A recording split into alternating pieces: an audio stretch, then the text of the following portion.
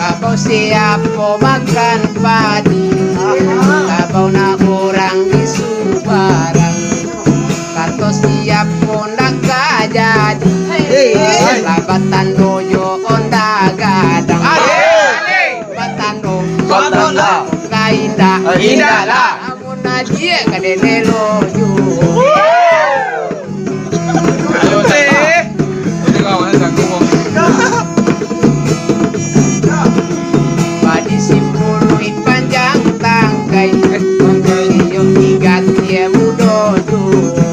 Jua. Tapi apa dia pakai Ada pakai. Tak babada kami Assalamualaikum warahmatullahi wabarakatuh. Di sana batamu awak Bali di dalam acara Ciloteh Naroboy. Namun pada hari kini Boy nak nampak dah kerana beliau mungkin mas dalam suasana hari raya. Baik, hari kini kita akan berbicara masalah undang-undang IT. Ya kan? Dan akibatnya bagi awak pengguna HP. Ah itu mah Pak Pino. Eh, mana Rom? Ya, Pak Pino ko narasumber awak kini beliau mantan direktur LBH Padang. Ah, itu Pak Pino ya. Baru-baru ku awak terkesima dengan beberapa kasus. Ya Naro. Ya, kapatang gua dulu Pak Ruslan Buton namanya menyuruh presiden lu mundur. Ya, berhenti Naro. Oh ya, padahal selama ko banyak orang menyuruh oh presiden ku mundur mah. Ya, Nak do nanya japui-japui di polisi dah. ya. Tiba di Pak Ruslan ko, bako nya japui apa ko beliau ko mantan perwira TNI tu bah. Ah kasus ko sebenarnya kan hak masyarakat untuk menyuruh presiden mundur kan boleh ni. Apa menurut Pak Pino? Jadi mereka Naro. Ah. Tentu awak lihat dulu apa yang masalah Pak Ruslan kau. ya, Kalau dengar dari media sosial, berita-berita yang berkembang, itu kan mengenai video Naro. ya, Pak Ruslan kau membuat video. Ha. Dalam video itu intinya meminta Pak Presiden mundur. ya, Nah, kemudian ikulah yang viral Naro. Viral kini di media sosial segala macam, ah sampailah penjemputan terhadap Pak Ruslan Buton oleh Pak Polisi Ya. dibawa ke Mabes Polri.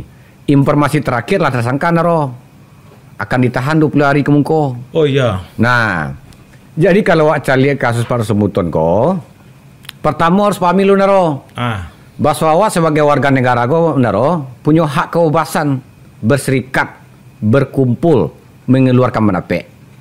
Nah, kebebasan kau dijamin loh sebagai konstitusi di pasal 28E ayat 3 Ya. Undang-Undang 45.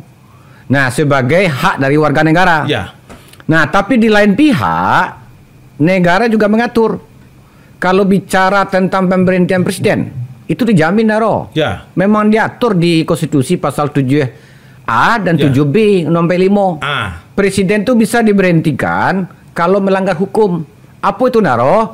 Satu, melakukan pengkhianatan terhadap bangsa. ya, Yang kedua, korupsi. Suap.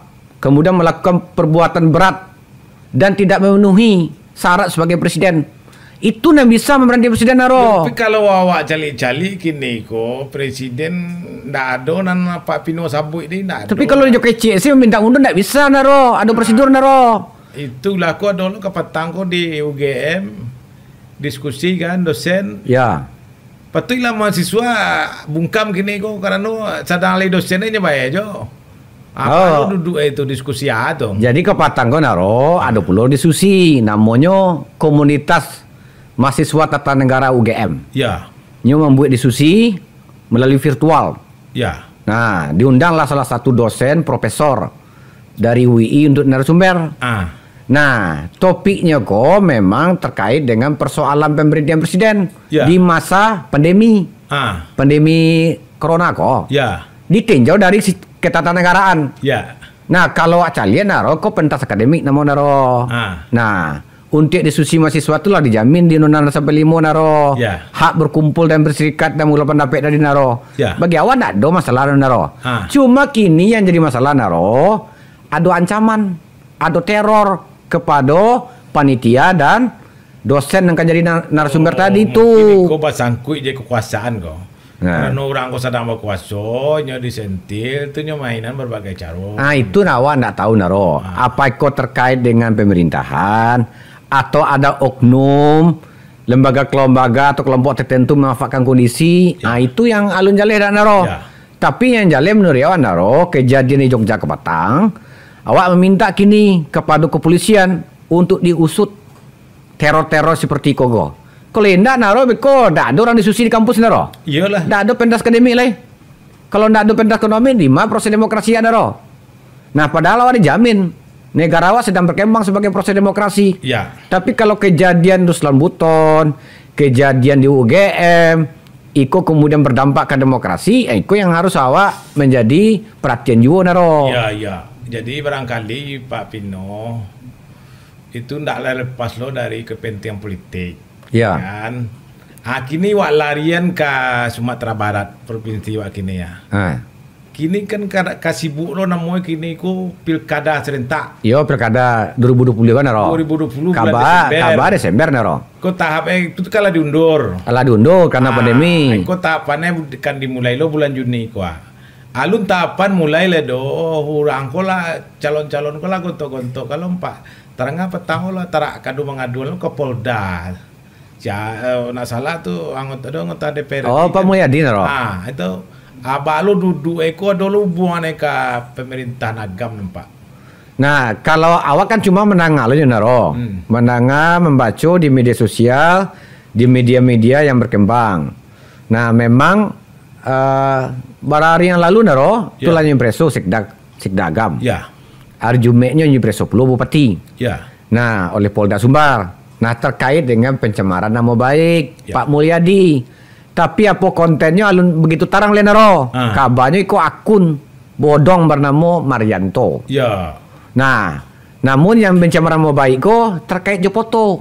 Ah. Foto Pak Mulyadi. Ya, Nah, iko yang kini sedang dipreso oleh Polda Sumbar. ya, ya. Nah, nah iko terkait pula jo ITE go naro. Nah, karena kini go naro memang berkembang pula.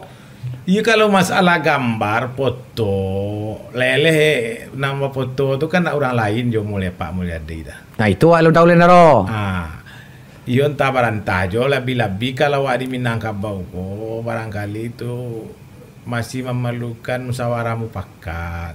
Iya. Ya karena awak aku kemanakan barajo ke mama mama barajo ke pengulung ikut terkait lo dari salah seorang pengulung di dalamnya kan Iya, iya. ke Pak Indra Katri itu akan Datuk Malako Nam Putih Iya naro. ke pengulu suku lo tuh Iya. apa kan tak bisa dibuat saya kata bayo kan itu Nah, ki- kita kan baru tahu je lah meledak sini Polda naro. Ya. Ketika melapor tak tahu dah. Lah preso media sosial baru tahu naro.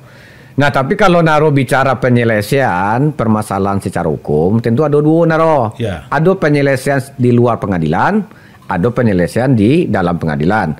Penyelesaian di luar pengadilan kok kalau cara awak Minang naro, ikut penyelesaian secara kekeluargaan. ah Jo cara mu, mu pakai Ya. ba, badannya naik batang go turun. Nah iko diakui juga secara hukum naro. Tapi apakah kasus Pak Mulyadi menempuh itu tentu akan balik ke Pak Mulyadi. ya Nah karena tergantung siapa yang dirugikan. Ya tapi terangan nama ngadu ku ndak lo Pak Mulyadi dah do fan eh fan beliau kan. Ya kalau awak dengar kan supir uh, naro. Ah. Nah cuma kalau apa pahami naro, kalau kasusnya ITE pencemaran nama baik, pencemaran baik itu kini merujuk ke pasal 310 KWP naro. Ya. Sia yang dimasuk yang dicemarkan nama baiknya adalah pribadi naro. Yo. Pribadi. Nah, jadi kalau kalau jabatan, kalau lembaga tidak bisa dikecewa nama baik naro. Yang bisa itu adalah pencemaran pribadi kehormatan seseorang naro. Ya. Nah, jadi awak ke Batang agak ada kajijo, sangko apa yang lapor. Ah. Tapi informasi di koran, di media, supirnya. Ya. Padahal pemahaman awak satu pencemaran nama baik itu delik aduan tuh naro. Ya. Delik aduan itu maksudnya adalah bisa diselesaikan secara damai. Ya. Nah, kalau diselesaikan secara damai kekeluargaan, ah, perkara selesai. Bah beda jadi delik biasa naro. Delik biasa walaupun awak damai nggak ada perkara tidak bisa dihentiin dah. Ya. Nah, Pak Mulyadi Go pencemaran nama baik itu terkait dengan eh, ada akun palsu atau bodong, ada foto-foto beliau itu Ya. bermasinyo. Ya. Nah kalau iko memang terkait jo undang-undang ITE. Nah undang-undang ITE ko naro, ko pencama baik ko delik aduan. Nah kalau delik aduan bisa saja berdamai, Ya. bisa saja diselesaikan kekeluargaan, Betul. bisa saja diselesaikan caro nenek mama naro. Nah kecuali memang tidak bisa, artinya tidak mau bersepakat, tidak mau berdamai, tentu polisi lanjut. Ya. Ada lo cek lah ikut kasus awak di perbatasan ko anak petang tu mah. Ha. Masalah ketua KPU tu. Oh masalah di apa di uh, posko. Yang marumi yang mana itu kan berhubungan dengan data pribadi. Ya ya ya KTP, KTP itu nyo foto lalu nyo sebar ya. di akun Facebook kan. Kalau nak salah wak data pribadiku banyak gunung mah kabang kemari kan ya bawa bawa bayu akibat itu kok. Kalau berdampak tentu iyo eh, berdampak terhadap eh, apa eh, pihak Pak Ketua KPU tentu Ya. iyo naro. Ya, Karena nawak danga di media sosial, Ya. jo media online, ya, yang nyo laporkan bukan masalah di posko naro, ah, bukan persoalan di poskonyo, tapi menyebarkan KTP, data pribadi tanpa izin beliau. ya, Itu yang dilaporkan. Nah, kalau menyangkut data kependudukan, data pribadi memang diatur pula secara hukum naro. Ah, baru- Di dalam undang-undang administrasi kependudukan. ya, betul. Karena data pribadi seseorang kok naro itu Ya. memang dilindungi sebagai hak privasi atau Ya. hak pribadi. Ya, Tak boleh sembarang aja dia paspor naro ke tanpa izin naro. Nah, yang boleh itu adalah tanpa izin kemudian oleh lembaga yang berwenang naro. Nah, pertanyaannya, ah, ibu kebatang itu berwenang tak? ya, memoto kemudian menyebar ke Facebook. Nah, itu yang akan dipreso. Itu yang dilaporkan di Pak Ketua KPU ke Polda. Ya. Karena beliau merasa dirugikan. Karena tentu bisa juga dipahami naro beliau kok Ketua KPU. Sebentar awak ke pilkada. Ya.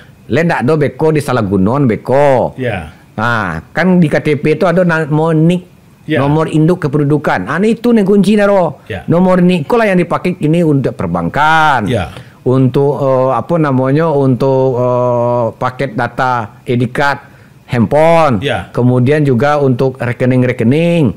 Bahkan untuk semua urusan ini memang memakai itu naro. Makanya data pribadi itu secara hukum dilindungi naro. Nah kabarnya itu yang beliau laporkan ke Polda. iya. Sekalian cerita tadi, omong-omong tadi, ambo masih ada hojo nan tak kiro-kiro kan. Tentang yang yang di hati naro ya. Yang yang ada tadi wa menyabui makar Pak Pino tadi. Iya. Kan? Menyabui IT. Ya. Ada lo menyabui oh, undang-undang administrasi umum Kependudukan naro. pendudukan. Ya. Alo tu cibola Pak Pino. Tampai lo sakete na untuk ambo saya kodoko untuk pendengar. Jadi naro kalau bicara makar naro itu bicara hukum. Jadi istilah makar go istilah hukum naro. Kalau istilah politik namo kudeta naro. Ya. Nah, secara hukum makar go memang diatur dalam KUHP naro. Ya. Pasal 100 sampai 107 ah, 108. Nah, tentu harus pahami naro. Yang mau kece makar. Ya. Makar itu secara pasal 100 sampai 107 108 tadi ada dua paling tidak naro. Ya. Yang pertama ada serangan daro. Ada serangan yang serangan ko bersifatnya adalah untuk membunuh atau serangan untuk meniadakan presiden dan wakil presiden. Ya. Kemudian menggulingkan pemerintahan yang sah. Nah itu ini kecil makar daro. Ya.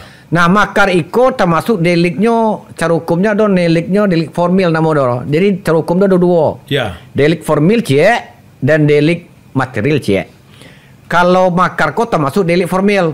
Delik formil ko ada niat, ada perbuatan permulaan walaupun lalu selesai dianggap melanggar hukum naro. Ya. Kalau delik material telah selesai dilakukan perbuatan timbul akibat barunya dianggap pidana naro. Ya.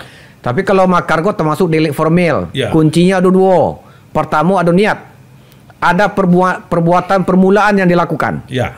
Nah, itu saja sebenarnya Rola bisa dianggap ma- makar. Nah, dihubungkan balik dengan kasusnya Ruslan Buton. Ya. Kalau menurut awak, apakah kasus Ruslan Buton kok dikaitkan dengan makar? Nah, kabarnya kepolisian mengain itu naro. Ya. Nah, tapi kalau awak cali, eh, tentu harus pahami dulu bahwa proses hukum itu memang harus dilakukan oleh kepolisian. Ya. Nah, apakah Pak Ruslan Buton go bisa dikenai pasal makar atau tidak? Ya. Nah, sama-sama awak cari lah naro. proses hukum selanjutnya. Awak tentu tidak lebih bisa menyimpulkan naro. Ya. Walaupun ambo pengacara naro tidak lebih bisa mengecen, oh bisa, tidak bisa gitu naro. Ah, iya. Tentu ada proses hukum yang harus kita hormati. Nah, tapi yang perlu apa pahami naro, awak ada ingin lo kasus Ruslemuton kau naro menghambat proses demokrasi. Ya. Lah takut lebih ke orang untuk berkumpul, untuk berserikat, mengeluarkan pendapat. Nah, padahal itu dijamin oleh konstitusi, dijamin Ya. dan dasar 45 dan itu proses demokrasi. Nah, seperti yang terjadi di UGM. Jadi perlu juga lurin daro. Ah. Baso ma yang iko sebuah tindakan yang dianggap makar. Ya. Ma yang bisa dianggap sebagai pentas akademik. Ya. Kalau kasusnya UGM, menurut kita daro, kok tidak ada hubungannya makar dah. Ah. Karena kok forum diskusi, Iya. forum pentas akademik. Nah, orang bicara bagaimana mempersoalkan pemerintahan presiden. Iya. Sah, bisa naro. Ya. Karena Undang-Undang Dasar 45 mengatur. Pasal 7A dan pasal 7B Konstitusi mengatur cara-cara pemberhentian presiden. Ya. Nah, presiden itu diberhentikan karena melanggar hukum, melakukan pengkhianatan terhadap bangsa, melakukan korupsi, melakukan suap, melakukan perbuatan pidana berat, Ya. dan tidak memenuhi syaratnya sebagai presiden dan wakil presiden. Nggak lo gampang menilai itu doh. Waraso dengan pidato tulisnya nggak bisa memberhenti presiden doh. Ya. Ada prosedurnya doh. Harus melalui DPR. Dua per tiga lo DPR setuju lo rapat paripurna untuk pemberhentian presiden, ah, baru bisa doh. Sudah itu harus diaju lo ke Mahkamah Konstitusi doh. Ya. Nah, nilai puluh di Mahkamah Konstitusi. Apakah eh, keputusan DPR yang paripurna tadi itu untuk memberhentikan presiden itu, nah sudah sesuai enggak dengan pasal 7 A dan B tadi? Ya. Kalau Mahkamah Konstitusi mengatakan tidak, ya selesai. Kalau Mahkamah menganggap bahwa presiden itu melanggar konstitusi pasal 7 A dan pasal 7B dilanjutkanlah ke MPR melalui rapat paripurna. Ya. Gampang lo memberhenti presiden Kondaro. Ada prosedur hukumnya. Ada aturan pasal-pasal apa saja, perbuatan apa saja yang dilakukan oleh presiden yang kemudian presiden bisa diberhentiin. Jangan jangan gara-gara anggaplah akademi apa namanya corona kok tidak selesai. Ya. Tidak bisa berhenti presiden dong Naro. Ya. Karena itu kebijakan Naro. Kalau kebijakan dari presiden tidak bisa berhenti presiden Naro. Anggaplah Pak Jokowi kini dianggap tidak berhasil pemerintahan awak menyelesaikan corona. Apakah dengan tidak berhasil corona presiden bisa berhenti? Tidak. Ya. Karena itu adalah kebijakan. Jadi kebijakan yang dilakukan oleh pemerintah tidak bisa dan tidak memenuhi syarat di pasal 7A dan 7B Undang-Undang Dasar 45 untuk memberhenti presiden kecuali presiden berkhianat terhadap bangsa, korupsinya, melakukan suap, melakukan perbuatan berat, ya, kemudian tidak memenuhi syarat jadi presiden. Ya. Itu yang bisa berhenti presiden Nero. Tapi ya Pak Vito, oh beliau itu tadi kan um, mengeluarkan pendapatnya di media sosial. Iya. Ah, ada kaitannya KIT kan? Ada. Ada duduk undang-undang IT di sini tuh. Jadi kasus Pak Ruslan Buton pun ya pasti akan dikaitkan dengan undang-undang ITE. Nah, undang-undang ITE itu karena serananya adalah serananya serananya apa kan video. Ya. Itu namanya adalah sera- transaksi elektronik. Ya. Nah, jadi memang kita ada undang-undang ITE, informasi transaksi elektronik gitu.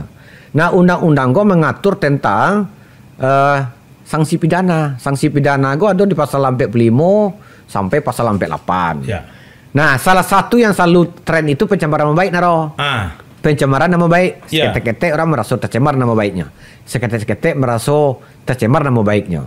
Nah, ya kecil orang pencemaran baik itu kan pasal karet kan ya. Oh, pasal karet. Ya, tapi kan harus dipahami juga di masyarakat. Apa yang dimaksud dengan istilah pasal karet? Jadi pasal 27 Undang ITE itu sering disebut orang pasal karet itu naro. Berarti tidak saya dah. Nggak, bukan ndak saya, pasal karet kok maksudnya kan bisa diregang-regang kok. Ya. Ah, kalau Oh. karet kan bisa diregang. Di bawah sesuai dengan kepentingan. Dia karena nyonya deli aduan kena. Ayo. Memang pencemaran baik itu dan tempe itu delik aduan daro. Delik aduan itu daro itu harus diadukan langsung oleh orang yang merasa dirugikan. Ya. Namanya pengaduan ke polisi daro. Ya. Bukan laporan. Kalau laporan namanya delik biasa. Nah, delik aduan ko sifatnya itu adalah selain dilaporkan oleh orang yang merasa dirugikan, tapi bisa juga diselesaikan dengan cara damai Ya. musyawarah mau pakai cara awak di Minang naro. Nah, Mungkin itu tadi tidak pasal karet tadi itu bisa diregang-regang. oh nah itu makasih naro. Mencari dana segala Dah. macam. Nah, Nah, pasal karet kau makasihnya pasal itu multi penafsiran. Bisa ditafsirkan kamat raga awak. Nah, kadang ikut dikaitkan dengan kepentingan. Nah, kepentingan A, kepentingan B gitu. Nah, itu yang dikaitkan. termasuk perbuatan tidak menyenangkan dalam benak. Nah, perbuatan tidak menyenangkan lain lu puluh pasal naro. Ah. Itu 335 KUHP naro. Ah, ndak di undang-undang ITE ro, di undang-undang dua itu. Undang ITE itu pencemaran nama baik. Itunya kan. Kemudian apa namanya eh, eh, menebar permusuhan, Fitnah. eh, fitnah eh, yang bernuansa agama, sara, antar golongan, suku. Ah, itu naro. Termasuk apa naro? Menye- Menyebarkan gambar Ya. yang bernuansa asusila atau pornografi. Bisa karena juga naro. Ya. Nah, Nah, jadi- itu kaitannya jo anu ada KTP, gambar KTP-nya sebarkan mah identitas diri itu.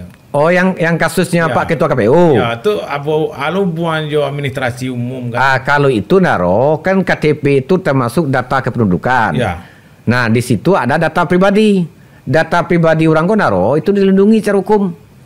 Nah, kasus yang dilaporkan ke Patang tuh, Ibu RS kok itu karena memfoto, me, me- apa namanya merekam secara tanpa izin, kemudian menyebarkan ke Facebook. Nah, itu yang dilaporkan oleh Pak Ketua KPU.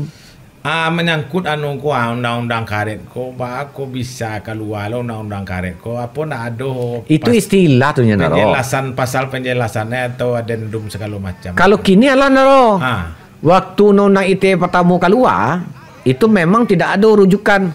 Karena dalam Undang-Undang ITE itu tidak disebutkan pengertian pencemaran nama baik. ya Tidak ada disabuin dah. Apa itu yang dimaksud dengan pencemaran baik? Tidak ada dah. Kemudian kini kalau berubah naro. ya Undang-Undang ITE kalau berubah. Ada perubahannya tu. Nah, dalam perubahan Undang ITE ko, pencemaran nama baik itu merujuk ke pasal 310 ah. Pasal 310 itu adalah yang dimaksud dengan pencemaran baik adalah serangan terhadap kehormatan dan mencemarkan nama baik seseorang. Jadi sifatnya pribadi naro. Ya, kalau 310 ko K- KWP ko. KWP naro. Jadi rujukan dari ITE itu ke KWP 310 ah. Yang pencemaran nama baik itu ya serangan kehormatan dan dan dan mencemarkan nama baik seseorang pribadi. Tidak bisa lembaga, tidak bisa jabatan undang naro. Ah, begitu. Nah, makanya kok di kasus Pak Mulyadi kan tidak ada Pak Mulyadi yang melapor dah. Ya Tapi yang melapor supirnya. supir dong. Tapi kalau pakai pasal pencemaran nama baik harusnya yang melapor Pak Mulyadi langsung. ah itu nak Karena ini yang merasa tercemarkan nama baiknya. berarti bisa lemah kan? Nah, soal lama tuh hendaknya tentu awak tunggulah polisi, Ah. Pak Naro. Nah, karena ada usah menyampaikan menyebut kesimpulan dah. Lama atau kueknya tergantung penyidikan dari kepolisian.